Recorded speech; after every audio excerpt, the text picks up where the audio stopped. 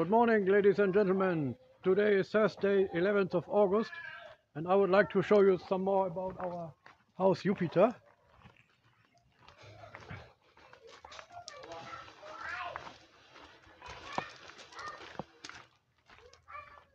This is our classroom here. We have our daily lessons for the kids.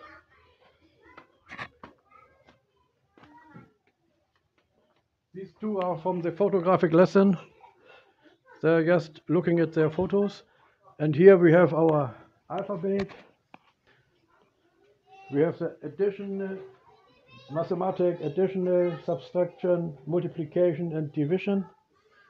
And here we have our solar system, which the kids are learning every day.